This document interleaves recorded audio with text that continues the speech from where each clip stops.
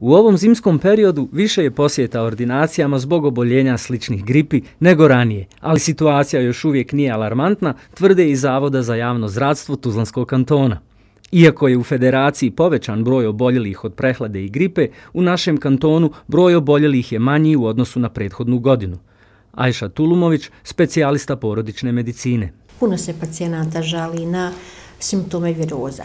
E, očenito, kad su viroze u pitanju, javlja se povišena tjelesna temperatura i sad odmah da kažemo da je povišena tjelesna temperatura ako ona izmrena prenosi iznosi 38 i više stepeni Celzijusovih. To je ovaj jedna jako bitna stavka za sve naše za sve naše e, pacijente da znaju. Djeci do 4 godine života treba mjeriti temperaturu rektalno i poslije dvije minute provjeriti kolika je temperatura. Ako je ona 38 preko 38, onda treba poduzeti mjere za oblažavanje tjelesne temperature. Za odrasle isto tako, aksilarno direção de temperatura i ako ona iznosi 38, preko 38, onda treba poduzeti mjere. Tjelesna temperatura do 38 stepeni Celzijusovih je subfebrilna temperatura. Ona ne zahtijeva medikamentuznu terapiju. Znači ona zahtijeva samo malo veću količinu, veću količinu tekućine, zahtijeva izdvajanje iz sredine u kojoj bi se mogla dobiti nekakva infekcija. E, ovo pričam iz razloga što masa, masa pacijenata kod nas dolazi, e, dolazi na pregled i kaže imaju temperaturu 37,0, 37,2 i mi se slomislo objašnjavajući da to nije povišena tjelesna temperatura, da nema potrebe da dolaze ovdje, jer rizikuju da stvarno dobiju nekakvu infekciju, virusnu ili nedobog bakterijsku, pa da jako teško oboli. Najugroženiji virusnim infekcijama su svakako mala djeca i osobe starije životne dobi, tvrdi doktorica Tulumović.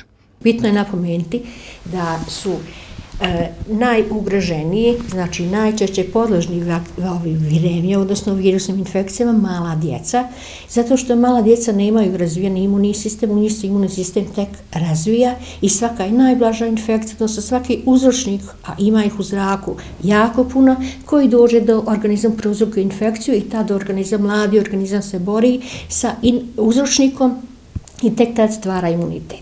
Znači, mala djeca su e, podložna infekcijama zbog slabog imuniteta, a isto tako i osobe stare, starije životne dobe, znači osobe starije od 65 godina života su podložnije i osjetljivije na virusne infekcije nego osobe e, nego mi koji smo mlađi od 65 godina života i oni su e, često skloni bakterijskim superinfekcijama. Znači najobičnija i najblaža viroza, prehlada koja, koju mi prebrodimo za 2-3 dana, kod njih može da bude katastrofalna kobna, jer se javlja bakterijska superinfekcija i oni e, znaju vrlo često da posle jedne opšte prehlade dobiju upalu pluća, zna se vrlo često da se dobije e, upala pluća, upala uha, upala, upala sinusa kao komplikacija koja zahtjeva antibiotsku terapiju kako se najbolje zaštititi od prehlade i gripe i koje su to mjere prevencije koje građani mogu poduzeti, naša sagovornica kaže. Prva stvar je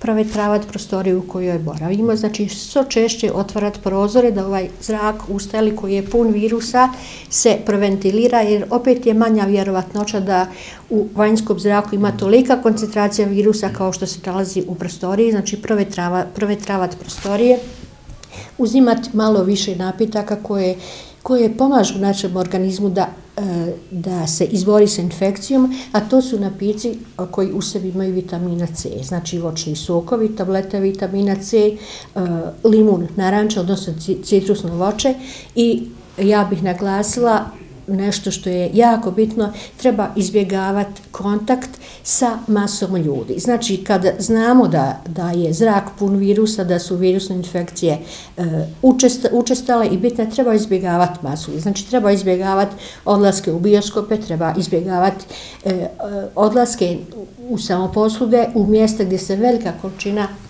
veliki broj ljudi skuplja i tako ovaj na taj način se smanjuje mogućnost nastanka virusne infekcije. Ja sam rekla, mi ne možemo spriječiti tako je virus tu u zraku i ako smo mi tu udahnemo ga, infekcija se pojavljuje. Ali možemo urati ovo sad što sam rekla. Sporadičnih slučajeva gripe ima, ali još uvijek se ne može govoriti o epidemiji.